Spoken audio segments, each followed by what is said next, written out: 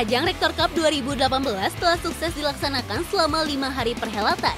Empat nomor dari tiga cabang olahraga dipertandingkan, di mana sembilan perwakilan fakultas dan binus regional bersaing untuk memenangkan peringkat pertama pada keempat nomor tersebut.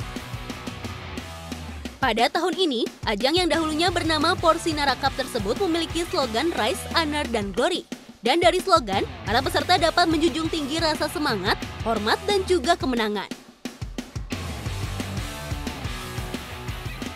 Rektor Cup 2018 sendiri dibuka langsung oleh Rektor Binus University, Bapak Haryanto Prabowo, pada 1 Oktober yang lalu di Binus Kijang. Setelah prosesi penyalaan obor yang menandakan bukanya Rektor Cup 2018, seluruh olahraga pun serentak dipertandingkan yakni futsal, basket, dan bulu tangkis. Di cabang olahraga bulu tangkis, 9 tim saling bersaing di babak perempat final.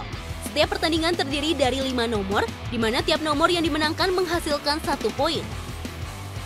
Dihelat di Hall Syahdan, cabur bulu tangkis dimulai pada tanggal 2 Oktober. Semua pemain tampak memperlihatkan kemampuan terbaik mereka.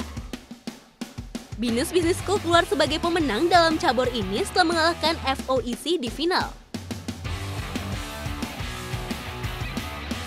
Ajang cabur basket juga tak kalah seru. Bertempat di Hall Binus Syahdan, dua nomor dipertandingkan pada olahraga ini yakni untuk kategori pria dan wanita. Di kategori pria, tim dari FOH keluar sebagai juara setelah mengalahkan tim dari SOCS. Sementara di nomor wanita, tim BBS yang keluar sebagai juara setelah kalahkan tim dari FOC.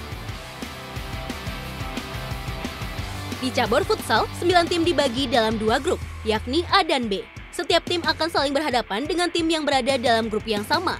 Dua tim terbaik di setiap grup berhak lolos ke babak semifinal. Setelah pertandingan semifinal berlangsung, tim dari SOCS menjadi finalis menemani tim dari SOIS.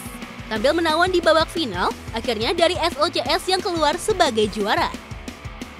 Dengan adanya ajang Rektor Cup 2018, diharapkan mampu meningkatkan hubungan baik antar mahasiswa dari berbagai fakultas dan regional.